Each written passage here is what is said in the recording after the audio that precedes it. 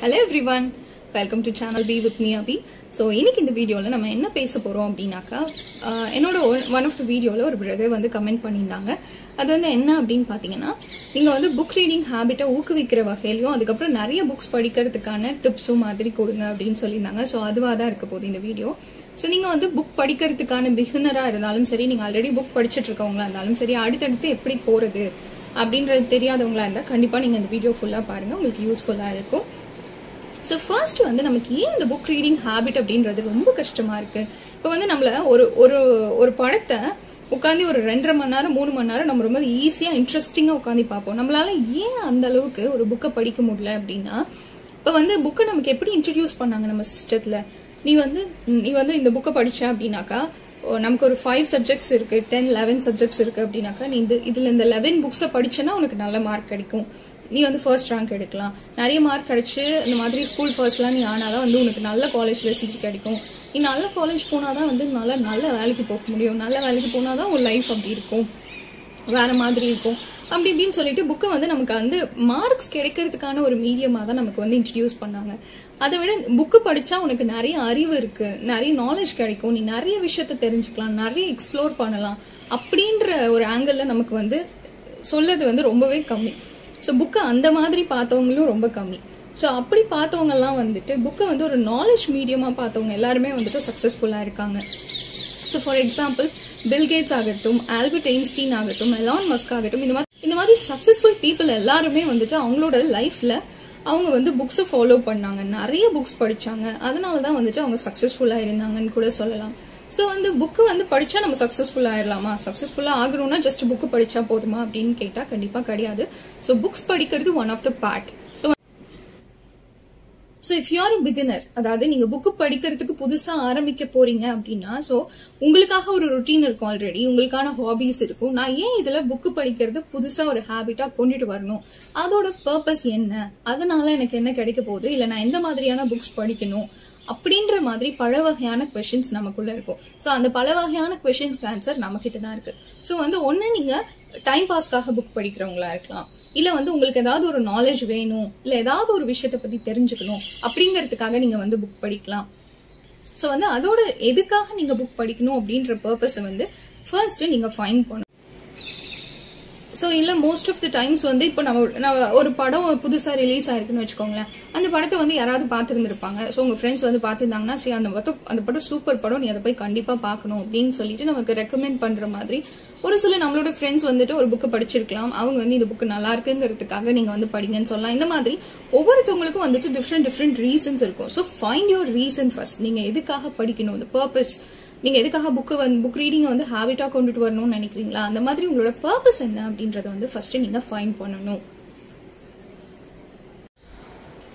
So உங்களோட பர்பஸை fine பண்ணதுக்கு அப்புறமேட்டுக்கு அதுக்கு ரிலேட்டடான புக்ஸை நீங்கள் வந்து அதுக்கு ரிலேட்டடான ஜேர்னர் ஆஃப் புக்ஸை நீங்கள் வந்துட்டு தேர்ந்தெடுத்து படிக்கிறது வந்துட்டு ரொம்பவே நல்லது. இப்போ என்ன வந்து அப்படின்னா இப்போ நீங்கள் வந்து ஒரு ஒரு சில விஷயத்த தெரிஞ்சுக்கிறதுக்காக புக் படிக்கணும்னு நினைக்கிறீங்க அப்படின்னாக்கா நீங்கள் எந்த விஷயத்த தெரிஞ்சுக்கணும்? இப்போ ஃபார் எக்ஸாம்பிள் ஒரு சிலருக்கு வந்து வெயிட் லாஸ்க்காக இல்லை ஹெல்த் ரிலேட்டடாக என்னோட டிசீஸ் எல்லாம் கியூர் பண்ணுறதுக்காக இப்போ அதுக்காக இப்போ டயட் ரிலேட்டடான விஷயங்களை தெரிஞ்சுக்கணும் அப்படின்னாக்கா ஸோ நீங்கள் அந்த மாதிரி ரிலேட்டட் அதுக்கு ரிலேட்டடான புக்ஸ் எடுத்து படிக்கணும்.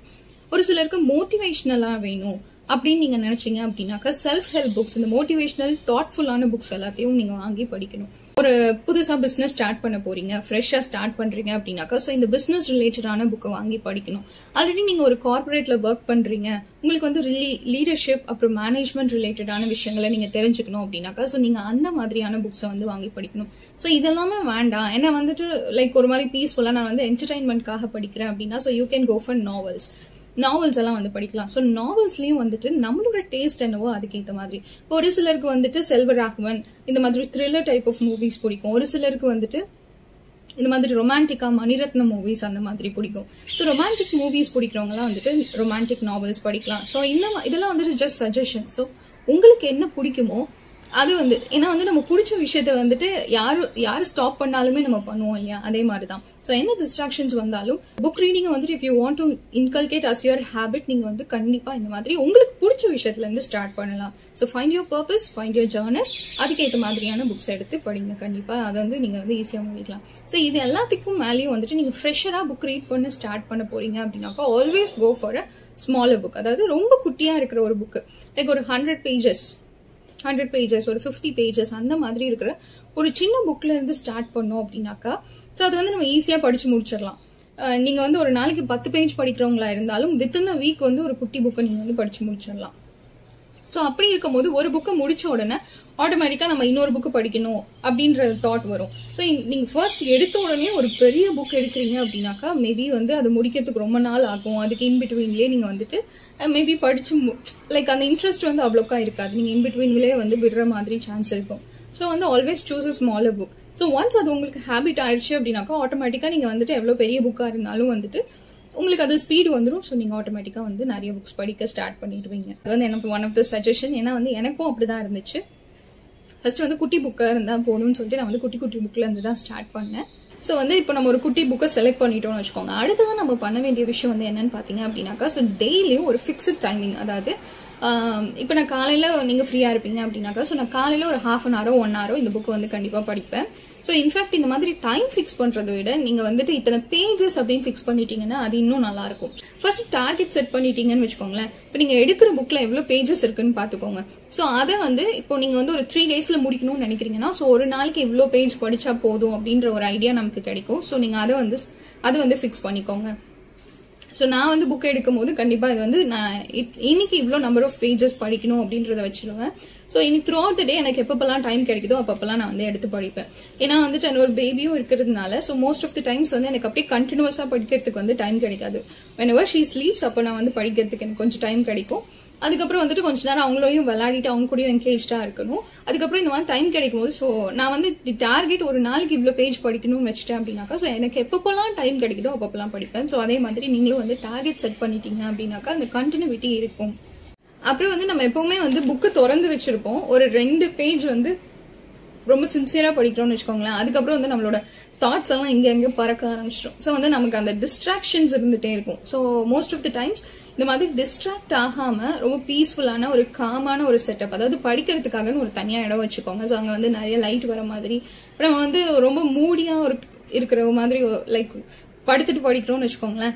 என்ன யா எவ்வளோ பெரிய ஆளா இருந்தாலும் சரி ஒரு மூணு நாலு பக்கத்துக்கு மேல வந்து தாளாட்டெல்லாம் மிஞ்சிரும் புக்கு அதுக்கப்புறம் நம்ம வந்து கண்டிப்பா நம்மளால கான்சென்ட்ரேட் பண்ண முடியாது நமக்கு தூக்கம் வந்துடும் வந்துட்டு நிறைய சன்லைட் இருக்கிற மாதிரி இடம் இல்லை வந்து பீஸ்ஃபுல்லா காம்ஃபுல்லா நீங்க வந்து நல்லா ரிலாக்ஸ்டா உட்காந்து படிக்கிற மாதிரி ஒரு இடத்த வந்து படிக்கிறதுக்காக வச்சுட்டோம் அப்படின்னாக்கா ஸோ அந்த அந்த இடத்துல எந்த டிஸ்ட்ராக்ஷன்ஸும் இல்லாமல் நம்ம வந்து படிச்சிடலாம். இன்கேஸ் வந்து வீட்லயா இருந்துச்சு அப்படின்னாக்கா ஸோ படிக்கிறீங்க அப்படின்னாக்கா நான் வந்து புக்கு படிக்க போறேன். எனக்கு வந்து ஒரு ஹாஃப் அன் ஹவர் வேணும். என்னை வந்து யாரும் டிஸ்டர்ப் பண்ணாதீங்க அப்படின்ற மாதிரி சொல்லிட்டு நம்ம வந்து நமக்காகன்னு ஒரு செல்ஃப் டைம் வேணும் இல்லையா? ஸோ அந்த செல்ஃப் டைம் மாதிரி இந்த புக் ரீட் பண்றது வச்சுக்கிட்டோம் அப்படின்னாக்கா ரொம்பவே நல்லா இருக்கும் புக் வந்து ஒரு ஃப்ரெண்டு மாதிரின்னு வச்சுக்கோங்களேன். Whenever you feel low or depressed or angry இந்த மாதிரி எப்போ ஒரு நமக்கு ஒரு ஒரு மாதிரி கஷ்டமான சுச்சுவேஷன் வரும்போது நம்ம புக் எடுத்து வச்சு படிச்சோம் அப்படின்னாக்கா நம்ம வந்து ஆட்டோமேட்டிக்கா பீஸ்ஃபுல் ஆயிடுவோம். உங்களுக்கு வந்து இது ஒரு குட்டி டிப்பு யார் மேலேயாவது கோவம் வந்துச்சுன்னா போய் சண்டை போடாம நீங்க பாட்டுக்கு ஒரு புக் எடுத்து படிக்க வச்சிட்டீங்க வச்சுக்கோங்களேன். ஸோ நம்மளோட தாட் ஃபுல்லா அந்த புக்ல போயிடும். ஸோ நம்மளோட கோவம் மறந்து போயிடும். சண்டை வராது. அதுக்கப்புறம் நீங்க ஒரு புக்கு படிக்கிறீங்க அப்படின்னாக்கா இந்த செல்ஃப் ஹெல்ப் புக்கெல்லாம் வந்துட்டு மோஸ்ட்லி அதில் சொல்கிற விஷயங்களை வந்து நம்ம கூட ரிலேட் பண்ணிக்கிறதுக்கு ஹெல்ப்ஃபுல்லாக இருக்கும். நம்மளோட லைஃப்லையும் வந்துட்டு அவங்க சொல்லியிருக்கிற மாதிரி விஷயங்கள் எப்பயாவது நடந்திருக்கும் கண்டிப்பாக ஸோ அதோட நம்மளை ரிலேட் பண்ணிட்டோம் அப்படின்னாக்கா த்ரூ அவுட் த புக் நம்மளை வந்து புக்கோட ட்ராவல் பண்ணுற மாதிரி ஒரு ஒரு விஷயமா இருக்கும். ஸோ அப்படி நம்ம புக்கோட ட்ராவல் பண்ணிட்டு வந்தோம் அப்படின்னாக்கா நம்ம அடுத்தடுத்து நம்ம லைஃப்ல நடக்கிற ஈவெண்ட்ஸை நம்ம வந்து ரீகால் பண்ற மாதிரியே இருக்கும். ஸோ கண்டிப்பாக நம்ம புக்கில் சொல்கிற விஷயங்களை வந்து நம்ம ஈஸியாக அப்சர்வ் பண்ணுறதுக்கும் ஹெல்ப்ஃபுல்லாக இருக்கும். அது மட்டும் இல்லாமல் நம்ம புக்கை வந்து இன்பிட்வீனில் விடுற மாதிரியான சுச்சுவேஷனும் வராது. ஸோ நம்ம வந்து கண்டினியூஸாக அந்த புக்கை முடிச்சிருவோம். இப்போ ஒரு புக்கை நீங்கள் எடுக்கிறீங்க அப்படின்னாக்கா அந்த புக்கை நம்ம படித்தாலே தெரியும்ல இது போகுமா போகாதா அப்படின்றது தெரியும். மேபி டைட்டில பார்த்து எடுத்திருப்போம் இல்லை ஆத்தரோட பேர் பார்த்து எடுத்திருப்போம் இல்லை யாராவது சொல்லி நம்ம ஒரு புக் எடுத்திருப்போம்னு வச்சுக்கோங்களேன். அப்போ நம்ம படிக்க ஆரம்பித்தோன்னு வந்து என்ன ஆகும் அப்படின்னா கொஞ்சம் போனோன்னே தெரியும். ரொம்ப போர்டாக இருக்கும். இல்லை ஒரு சில புக்கெல்லாம் வந்துட்டு சரி ஓகே போர்டாக இருந்தாலும் இப்போ மூடி வச்சுட்டு அதுக்கப்புறம் எடுத்து படி படிக்கிறதுக்கு நமக்கு மூடு வரும்னு இருக்கும். ஒரு சில புக்கெல்லாம் வந்துட்டு இதை எப்போ எடுத்தாலும் முடிக்க முடியாதுன்னு நமக்கு தெரிஞ்சிடும் ஸோ அந்த மாதிரி புக்கெல்லாம் தப்பு கிடையாது. நீங்கள் அதை வாங்கியிருந்தாலும் பரவாயில்ல வச்சிருங்க. இன்கேஸ் இன் ஃபியூச்சரில் உங்களுக்கு யூஸ் ஆனால் வந்து நீங்கள் படிச்சுக்கலாம். இப்போவே தான் முடிக்கணும் அப்படின்ற மாதிரி எந்த ஒரு கம்பல்ஷனும் கிடையாது. ஸோ புக்கு வந்து நமக்காக படிக்கிறோம். நம்ம நம்ம வந்து பீஸ்ஃபுல்லாக இருக்கிறதுக்காக நம்மளோட ஹேபிட்டாக நம்ம வந்து கல்டிவேட் பண்ணுறதுக்காக தான் புக்கு படிக்கிறோம். இந்த கம்பல்ஷன்லாம் கிடையாது. ஸோ இன்கேஸ் உங்களால் எந்த ஒரு ஏதாவது ஒரு புக்கில் கான்சென்ட்ரேட் பண்ண முடியல அப்படின்ற பட்சத்தில் நம்ம வந்து அந்த புக்கை விட்டுடலாம் அடுத்ததான் வந்து நம்ம எல்லாருமே வந்து நைட்டு தூங்க போகிறதுக்கு முன்னாடி என்ன பண்ணுவோம் அப்படின்னாக்கா நம்ம வந்து எல்லாரும் ஃபோன் தான் பார்ப்போம் இல்லையா? ஸோ அதை வந்து ரீப்ளேஸ் பண்ணி ஜஸ்ட்டு நம்ம ஒரு புக்கில் ஒரு மூணு நாலு பேஜோ படிச்சுட்டு தூங்கணும் அப்படின்னாக்கா அது வந்து ரொம்பவே நல்லாயிருக்கும் ஸோ இந்த வீடியோவில் சொன்ன டிப்ஸ் எல்லாம் ஃபாலோ பண்ணால் இதெல்லாம் வந்து நான் ஃபாலோ பண்ணது. ஸோ எனக்கு இது வந்து யூஸ்ஃபுல்லாக இருந்துச்சு. கண்டிப்பாக நீங்கள் ஃபாலோ பண்ணிங்கன்னா உங்களுக்கும் புக் ரீடிங் ஹேபிட் வந்துட்டு ரொம்ப e-, ஈ ஈஸியாக நீங்களும் அடாப்ட் பண்ணலாம் அப்படின்ற விஷயம் தான். இந்த வீடியோ எல்லாருக்கும் யூஸ்ஃபுல்லாக இருந்திருக்கும்னு நினைக்கிறேன். So thank you so much for வாட்சிங் மீண்டும் ஒரு இன்ஃபர்மேட்டிவ் வீடியோட உங்களை சந்திக்கிறேன். Until then it's bye from Abi so உங்களுக்கு பிடிச்சிருந்துச்சுன்னா லைக் பண்ணுங்க கமெண்ட் பண்ணுங்க ஷேர் பண்ணுங்க. மறக்காம நம்மளோட சேனலை சப்ஸ்கிரைப் பண்ணாமல் இருந்தீங்கன்னா சப்ஸ்கிரைப் பண்ணிக்கோங்க. கூடவே பக்கத்தில் இருக்கிற பெல் ஐக்கானையும் கிளிக் பண்ணிக்கோங்க. அப்போ நான் போடுற எல்லா வீடியோஸோட நோட்டிஃபிகேஷன் உங்களுக்கு வந்து சேரும். Bye.